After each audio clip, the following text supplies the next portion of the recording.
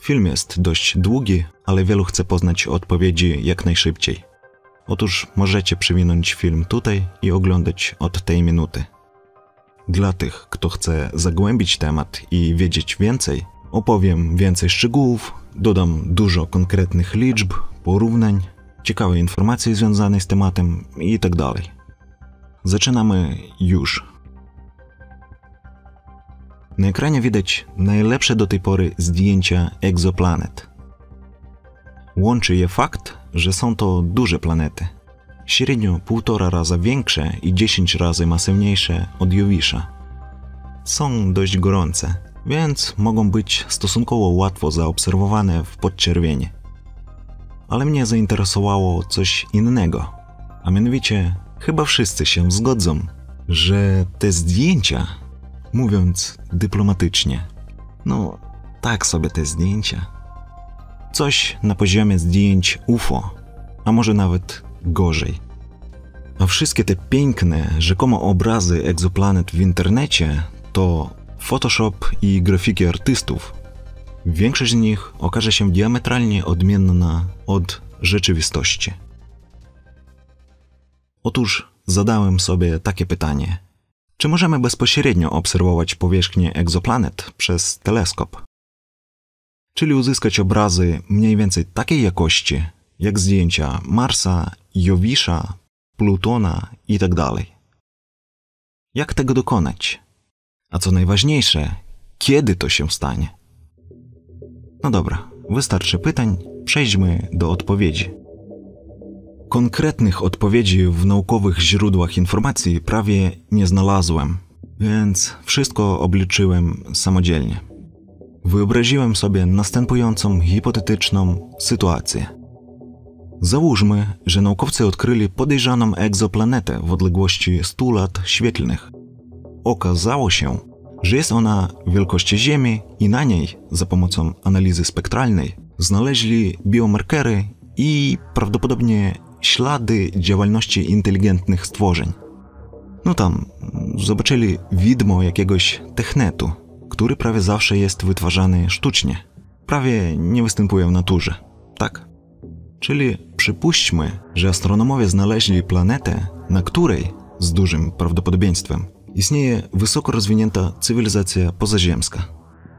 No i oczywiście chcemy zobaczyć tę planetę.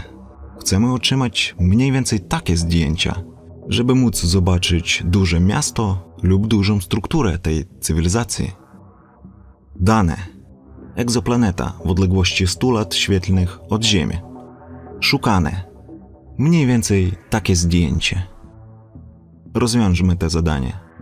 Uwierzcie mi, nie ma tu nic skomplikowanego, ale na wszelki przypadek powiem: jeśli coś nie będzie zrozumiałe, to nie martwicie się. Powiem konkretne wyniki i wszystko będzie jasne. Wielu z Was słyszało, że odległość między obiektami na niebie wyraża się w kątach lub radianach. Nawet rozmiary obiektów na niebie często są wyrażane kątami. Na przykład rozmiar księżyca na niebie wynosi około 30 minut kątowych. Co to oznacza, jeśli powiedzieć normalnie, po ludzku? Wszystko jest bardzo proste. Możemy wyobrazić sobie obszar nieba, który widzimy z Ziemi, jako półsferę lub sferę, jak wolicie. W związku z tym Ziemia będzie centrum tej sfery, prawda? Oczywiście obiekty na tej sferze, przykład gwiazdy, znajdują się w różnych odległościach, ale to nas nie interesuje, póki co. Interesuje nas coś zupełnie innego. Mianowicie, popatrzmy na jakiś dowolny fragment nieba z Ziemi i wybierzmy jakieś dwa obiekty, na przykład te dwie gwiazdy. Narysujmy wychodzące z nich linie bezpośrednio w nasze oko, w ten oto sposób. I jak widać, między tymi liniami można narysować kąt. Tak to wygląda z boku. Ten kąt jest właśnie odległością kątową między obiektami. Pogódźcie się, wszystko jest bardzo proste. Jeszcze łatwiej zrozumieć pojęcie rozmiaru kątowego. Weźmy nasz księżyc na niebie narysujmy przez niego linię, umowną średnicę, tak? A z dwóch skrajnych punktów na tej średnicy narysujmy dwie linie prowadzące do naszego oka. Tak to wygląda z boku. Ten kąt będzie wynosił około 30 minut kątowych, czyli pół stopnia. To trudno pokazać w poprawnej skali. Ten obrazek jest przykładowy. Aby utrwalić tę wiedzę, powiem, że jeśli wyciągniesz rękę, to twoja pięść zasłonie odległość na sferze niebieskiej równą około 10 stopni. Mały palec zakryje kąt około 1 stopnia. Oczywiście wszystko zależy od rozmiaru i długości rąk. Są to wartości przybliżone. Teraz powinniście mieć intuicyjne zrozumienie rozmiarów kątowych. Popatrz na jakiś dowolny obiekt, który cię otacza. Jak można zmniejszyć jego rozmiar kątowy? Można po prostu zmniejszyć ten obiekt. Zmniejszy się również jego rozmiar kątowy. Można to zrobić inaczej, po prostu zwiększyć odległość do tego obiektu. Zmniejszy się też jego rozmiar kątowy. No, rozumiecie o co chodzi. Rozmiar kątowy obiektu w dużej odległości, np. rozmiar kątowy egzoplanety w odległości 100 lat świetlnych, byłby po prostu znikomy, mizerny, nikły. Hmm, jakie nie przytoczyłbym tutaj synonimy i epitety, nie da się poprawnie zrozumieć wielkości kątowej egzoplanety w odległości 100 lat świetlnych. Więc zwróćmy się do królowej nauk matematyki. A jak obliczyć rozmiar kątowy takiej egzoplanety? Pod warunkiem, że ma ona rozmiar równy rozmiarowi Ziemi. Hm? To proste. Popatrzcie na te wszystkie linie. Przecież one tworzą trójkąt równoramienny. I L jest już wiadoma. To jest odległość do egzoplanety. A D to jest średnica planety. Załóżmy, że egzoplaneta ma rozmiar Ziemi, więc D równa się średnicy Ziemi. Teraz musimy znaleźć ten kąt alfa. Odbywa się to za pomocą tego wzoru. Podwojony arkus tangens mnożymy przez D podzielone przez podwojoną L. Przeliczamy lata świetlne na kilometry i podstawiamy wartości do wzoru.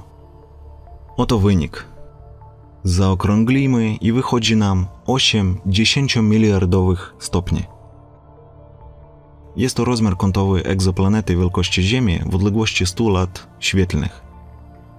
Póki co nie jest jasne, po co to jest potrzebne, nie spieszcie się. Wszystko powiem. Ale przecież my chcemy zobaczyć nie samą planetę jakoś tak, ale szczegóły. Chcemy uzyskać takie zdjęcia. Prawda? Dlatego potrzebujemy nie rozmiaru kątowego całej planety, ale rozmiaru kątowego obiektu o średnicy co najmniej 1 km w odległości 100 lat świetlnych. Przeliczamy wszystko, ale zamiast średnicy planety wstawiamy 1 km.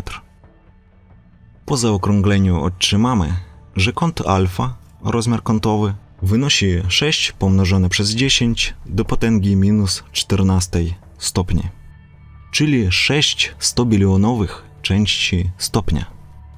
I to jest ta liczba, której potrzebujemy. Dla porównania, jest to około 8 bilionów razy mniej niż rozmiar kątowy Księżyca.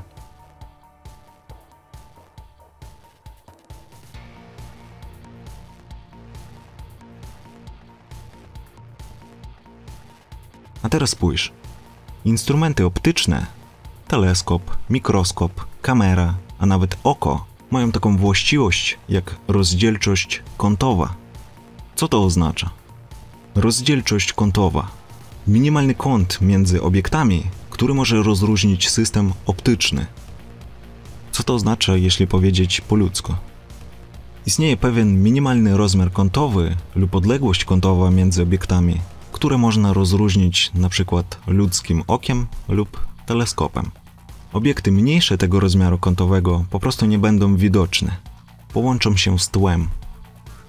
Im mniejszy ten kąt, tym niższa rozdzielczość kątowa, tym lepiej. Przypominam, że musimy zobaczyć obiekt o wymiarach 6 100-bilionowych stopnia.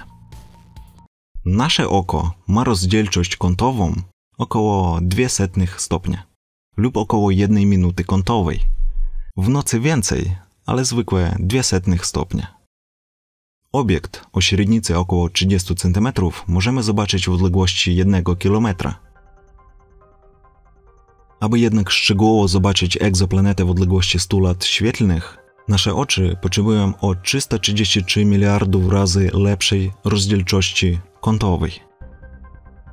Czyli oczy nie pasują do tej czynności. Weźmy teleskop Hubble'a. Rozdzielczość kątowa Hubble'a wynosi około 15 milionowych stopnia, czyli jedynie 1300 razy lepsza niż nasze oczy. A co już mówić o zobaczeniu 6 100 bilionowych stopnia. Już odczuwacie, że potrzeba tutaj coś naprawdę potężnego, prawda? W końcu dotarliśmy do tego punktu. Jaki teleskop jest potrzebny, aby zobaczyć 6 100-bilionowych stopnia, czyli zobaczyć tak oto planetę w odległości 100 lat świetlnych? Hm? Teleskop powinien być gigantyczny, kolosalny, monstrualny. Dobra, dosyć tego populizmu. W skrócie, znowu słowa nie podają konkretów. Znowu zwracamy się do matematyki i obliczamy konkretnie, jak ogromnego potrzebujemy teleskopu. Rozdzielczość teleskopu nie może być większa niż pewna granica, zwana granicą dyfrakcji. Aby poznać ten limit dla teleskopów, zwykle stosuje się kryterium Rayleigha. My również go zastosujemy. Oto wzór. 1,22 to pewien współczynnik. Nie jest dla nas ważne, co to za współczynnik. Najważniejsze, że działa. Lambda to długość fali elektromagnetycznej, a d to średnica apertury teleskopu. Wielu osobom znana jest apertura aparatu. U ludzi aperturą występuje źrenica. Tak więc, konkretnie ten wzór nam nie pasuje, ponieważ znamy ten kąt alfa. Nie znamy d, średnicy apertury.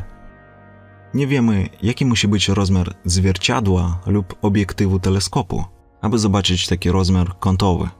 Dlatego trzeba trochę zmienić wzór. Szukamy d. d będzie równe 1,22 pomnożone przez lambda podzielone przez kąt alfa. Wstawiamy nasze wartości do formuły. Zamiast lambdy musimy wstawić długość fali elektromagnetycznej, czyli na jakiej długości fali chcemy oglądać naszą egzoplanetę.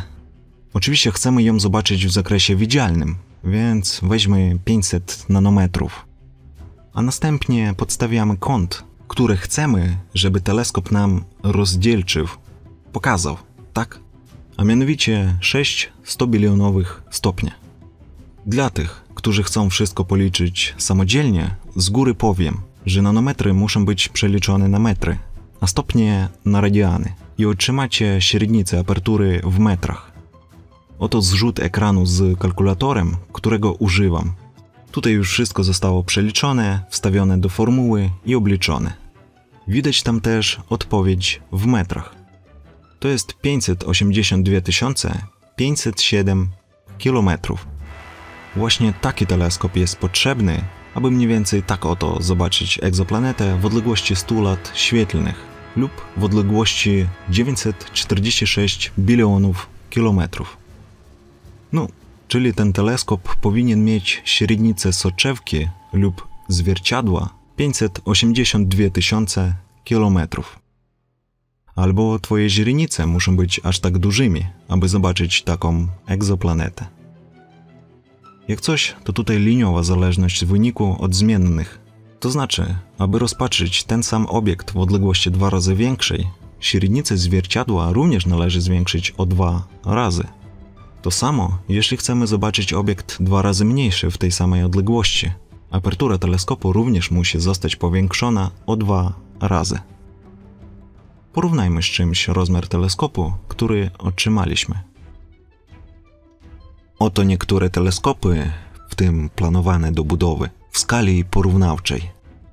A mianowicie porównanie średnic zwierciadeł tych teleskopów. Oto Hubble, oto James Webb, oto największy budowany teleskop. Średnica jego segmentowanego lustra powinna wynosić prawie 40 metrów. Co to jest 40 metrów w porównaniu do ponad pół miliona kilometrów? Porównajmy to lepiej z czymś innym.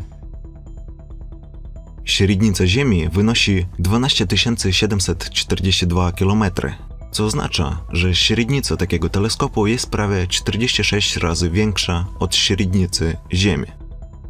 Jest to nawet więcej od orbity Księżyca, który jest oddalony średnio o 385 tysięcy kilometrów. To jest zdjęcie Ziemi i Księżyca w podczerwieni z odległości 3,5 miliona kilometrów. Tutaj można zobaczyć rzeczywistą skalę rozmiarów i orbit, ponieważ takie obrazki nie dają poprawnej reprezentacji rozmiarów i odległości. Tak wygląda zobrazowanie Ziemi i Księżyca z zachowaniem rozmiarów i odległości. Nasz teleskop powinien być mniej więcej takiej wielkości z zachowaniem skali. Czy powinienem mówić, że nikt nie zbuduje takiego teleskopu? Jest to niemożliwe, nawet w dość odległej przyszłości. Ale ja nie zrobiłem ten odcinek, by was rozczarować niemożliwością dokonania tego typu zdjęć egzoplanet. Ja zrobiłem ten film, żeby was zaskoczyć. Istnieją inne sposoby zrobienia takich zdjęć, o czym powiem dalej w tym filmie.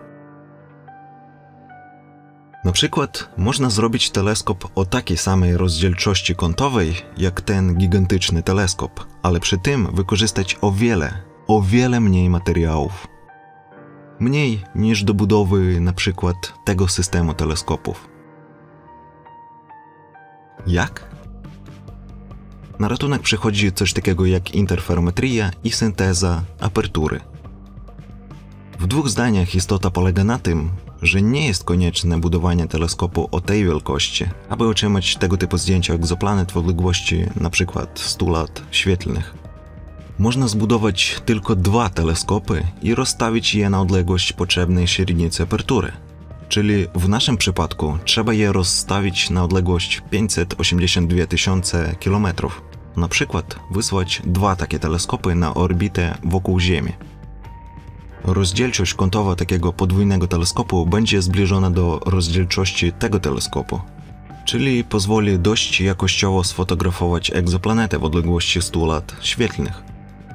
Zaraz powiem o wadach tej metody, ale teraz prawdopodobnie będziecie mieli pytanie: dlaczego jeszcze tego nie dokonano? Dokonano. Patrzcie.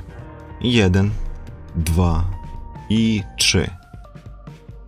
Oto zdjęcie czarnej dziury, znajdującej się w odległości, uwaga, 54 miliony lat świetlnych od Ziemi. Oczywiście ta czarna dziura jest super ogromna. Szerokość przestrzeni pokazanej na tym zdjęciu wynosi około jednego roku świetlnego. Ale ludzie, to z odległości 54 milionów lat świetlnych od Ziemi. Do zrobienia takiego zdjęcia potrzeba było ośmiu radioteleskopów rozmieszczonych na Ziemi w ten oto sposób. Czyli jednak ludzkość jest w stanie zbudować teleskop do bezpośredniej obserwacji egzoplanety w odległości 100 lat świetlnych. Ale wszystko nie jest takie proste. Taka metoda ma spore minusy. Jeśli rozniesiemy dwa teleskopy na odległość 582 tysiące kilometrów, to wynikowy obraz nie będzie taki sam jak w przypadku teleskopu ze zwierciadłem o tej średnicy. Oto przykład tego, jak wyglądałaby Mona Lisa, gdybyśmy obserwowali ją w ten sposób, w zależności od różnego rozmieszczenia teleskopów. Na górze kropki pokazują położenie teleskopów, a na dole wynik tego, co zobaczą. Oznacza to, że po pierwsze takich teleskopów musi być co najmniej kilka, a lepiej kilkadziesiąt. Po drugie, wszystkie muszą być nakierowane dokładnie na egzoplanetę. Odległości między nimi muszą być zachowane z dokładnością do niemal nanometrów i wszystkie muszą być podłączone do komputera przetwarzającego otrzymaną informację. Ponieważ będą rozmieszczone pod różnymi kątami i w różnych odległościach, sygnały świetlne będą docierać do teleskopów z różnymi prędkościami. Chodzi o opóźnienie rzędu nanosekund. Ale to wszystko trzeba wziąć pod uwagę, żeby system takich teleskopów mógł pracować jako jeden o średnicy zwierciadła 582 tysiące km, czy jakie tam będziemy potrzebować średnicy apertury.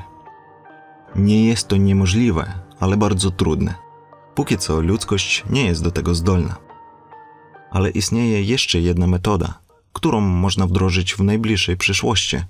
Zanim przejdziemy do niej, powiem jeszcze kilka faktów utrudniających robienie takich zdjęć. Faktem jest, że planety takie jak Ziemia nie promieniują w zakresie widzialnym. Nasza Ziemia ma dość wysoką temperaturę, więc emituje fotony w zakresie podczerwieni, a my chcemy zobaczyć egzoplanetę w zakresie widzialnym. Ogólnie rzecz biorąc, praktycznie wszystkie planety nie są widoczne w zakresie widzialnym, tylko bardzo gorące. Całe światło w zakresie widzialnym takie ciała niebieskie mogą tylko odbijać, jak, jak nasz Księżyc, albo jak Mars z Wenus, które widzimy jako gwiazdy na niebie. Różne ciała mają różną zdolność odbicia światła, tak zwane albedo.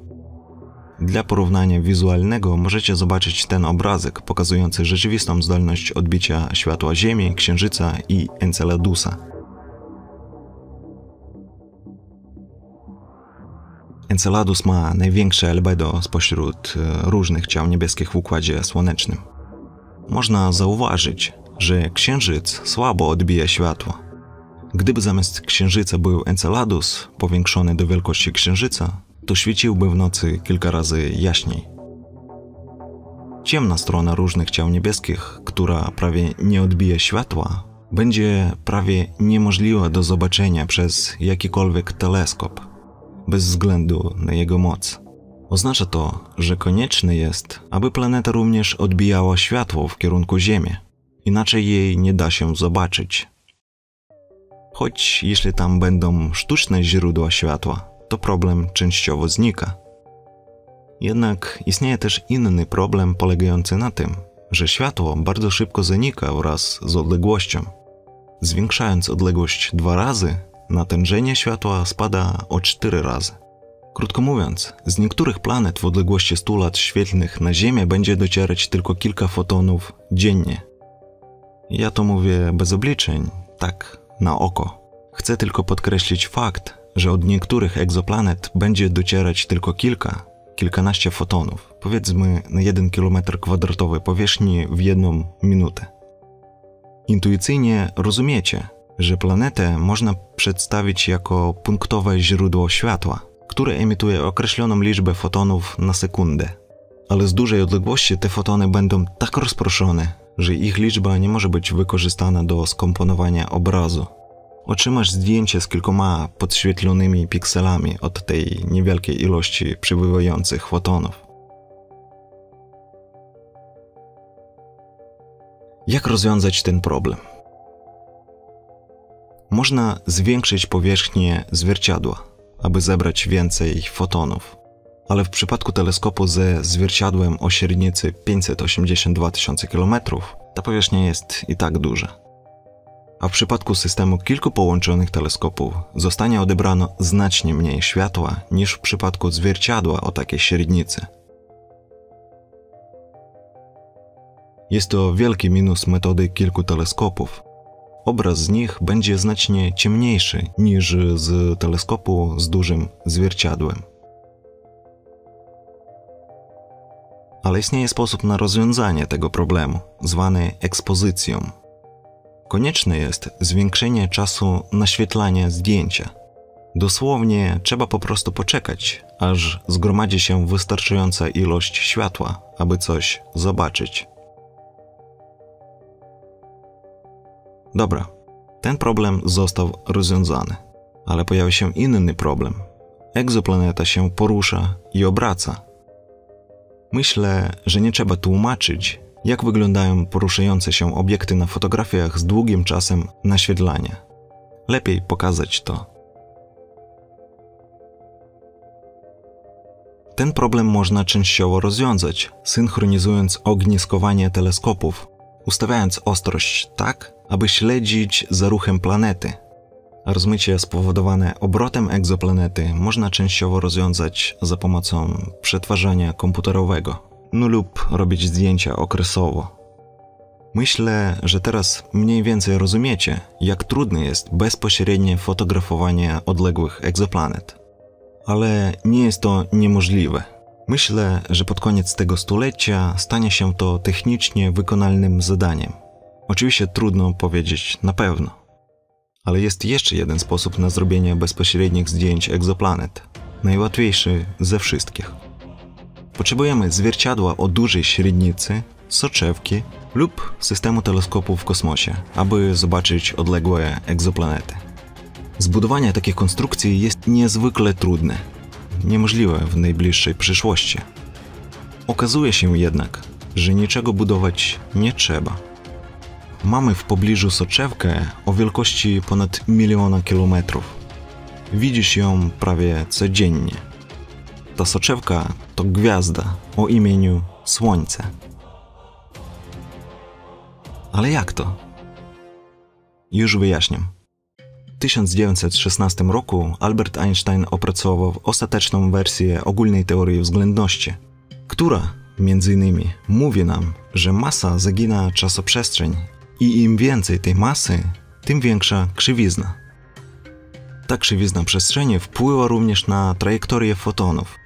Choć zawsze poruszają się one najkrótszą drogą z punktu A do punktu B, ale w zakrzywionej powierzchni najkrótszą drogą okazuje się linia krzywa, tak zwana linia geodezyjna. Już kiedyś robiłem o tym odcinek i wiele osób wie, jak to działa. Więc zamiast kolejnej lektury teorii pokażę, jak to wygląda w praktyce. Na tym zdjęciu grawitacja supermasywnej galaktyki w centrum działa jak soczewka grawitacyjna. Zniekształca światło pochodzące od znacznie bardziej odległej niebieskiej galaktyki, tworząc z niej taki pierścień światła. Ten pierścień nazywa się pierścieniem Einsteina. Oto kilka innych zdjęć tego efektu. Nasze Słońce działa w ten sam sposób. Jest w stanie skupiać światło od odległych obiektów. Jest swego rodzaju dużą soczewką, którą można wykorzystać do zobaczenia odległych obiektów. A teraz konkrety. W 1936 roku pewien naukowiec obliczył, jak promienie świetlne będą się zachowywać w polu grawitacyjnym Słońca. Według jego obliczeń, promienie światła przechodzące w pobliżu Słońca zbiegają się w ognisku położonym około 542 jednostki astronomiczne za Słońcem. Tym naukowcem był Albert Einstein. Niedawno inni naukowcy, opierając się na obliczeniach Einsteina, pokazali, jak poprzez umieszczenie małego teleskopu w tym ognisku odległe egzoplanety można obserwować w wysokiej rozdzielczości. Pokazali nawet, jak to powinno wyglądać. Ogólnie dokonano kolosalny kawał roboty i do tego praca była wielokrotnie uzupełniana dodatkowymi informacjami i doprecyzowaniami. Zacytuję wynik tych naukowców, który nas interesuje. Właściwości słonecznej soczewki grawitacyjnej są niezwykłe. Zapewnia maksymalne wzmocnienie światła 10 do potęgi 11 razy i rozdzielczość kątową 10 do potęgi minus 10 sekund kątowych. Sonda z jednometrowym teleskopem w ognisku słonecznej soczewki grawitacyjnej może wyświetlić egzoplanetę w odległości 30 parseków z rozdzielczością 10 km na jej powierzchni, wystarczającą do obserwacji zmian pór roku, oceanów, kontynentów i topografii powierzchni. Koniec cytatu. Co to wszystko znaczy? Jeśli uważnie posłuchaliście ten film, to nie będzie dla Was problemu wszystko zrozumieć. Ta metoda pozwala na rozróżnienie obiektów o rozdzielczości kątowej 10 do potęgi minus 10 sekund kątowych, czyli 3 100 bilionowych części stopnia. a więc dwa razy lepiej niż mój hipotetyczny teleskop ze średnicą 582 tysięcy kilometrów. Krótko mówiąc, bez zbędnych cergieli, oto kilka zdjęć egzoplanet w odległości 30 parseków, które można uzyskać metodą soczewkowania grawitacyjnego Słońca. 30 parseków to prawie 100 lat świetlnych, a dokładnie 97,8 lat świetlnych. Bardziej wyraźne zdjęcia to są zdjęcia po obróbce komputerowej, zaproponowanej przez autorów pracy. Dlaczego te zdjęcia są gorsze od tych, które pokazałem powyżej w moich obliczeniach, skoro rozdzielczość kątowa tutaj jest dwa razy lepsza? E, zbyt różne sytuacje. Rozważaliśmy różne długości fali i inne parametry. W każdym razie mój i ich wyniki są dość podobne. A wy teraz macie przynajmniej przybliżone pojęcie o tym, jak można zobaczyć egzoplanetę przez teleskop w odległości 100 lat świetlnych. Wymienię też wady tej metody z soczewkowaniem grawitacyjnym. W rzeczywistości ich praktycznie nie ma w porównaniu z tym, co pokazałem powyżej. Tak więc, po pierwsze, trzeba umieścić teleskop w odległości co najmniej 542 jednostki astronomicznych od Słońca. Jak dużo to jest? To 542 razy dalej niż od Ziemi do Słońca lub 13,5 razy dalej niż od Słońca do Plutona.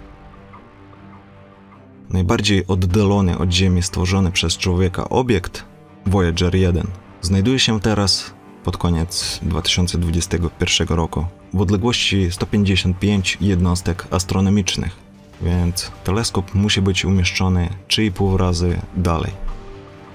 Rekord prędkości statku kosmicznego wynosi 343 tysiące km na godzinę, co oznacza, że statek kosmiczny z tą prędkością doleciałby do punktu oddalonego o 542 jednostki astronomiczne w ciągu 27 lat. Ale trzeba brać pod uwagę przyspieszenie, spowolnienie. W skrócie trzeba co najmniej 30 lat, aby dostarczyć teleskop do punktu potrzebnego do uzyskania takich obrazów egzoplanet. Tak naprawdę w praktyce droga zajmie jeszcze więcej czasu. Rozważyłem przecież rekord prędkości i poruszanie w linii prostej, a sondy kosmiczne tak się nie poruszają. Dobrą wiadomością jest to, że teleskop nie powinien być czymś w rodzaju supertechnologii. Oczywiście powinien bardzo dokładnie skupiać się na określonym punkcie w kosmosie, ale jest to osiągalne przy obecnym poziomie rozwoju. Kolejną wadą jest to, że obraz egzoplanet będzie rozmazany mniej więcej tak, jak na tym zdjęciu. Dodatkowo korona słoneczna będzie przeszkadzać w obserwacji. Ale naukowcy zapewniają, że można to łatwo rozwiązać przez komputerową obróbkę obrazu. A teraz główne pytanie. Kiedy więc będzie można uzyskać takie zdjęcia odległych egzoplanet? Jak się dowiedzieliśmy, najłatwiej to zrobić używając Słońca jako soczewki. Teleskop można zacząć budować już i dużo czasu by to nie zajęło, ale droga do punktu skupienia promieni zajmie co najmniej 30 lat. Krótko mówiąc, jeśli zaczniemy to teraz wdrażać, to ludzkość będzie w stanie uzyskać takie zdjęcie egzoplanety w odległości prawie 100 lat świetlnych w ciągu około 50 lat. Ale to w teorii. W świecie realnym nikt tak po prostu nie zrealizuje takiego projektu.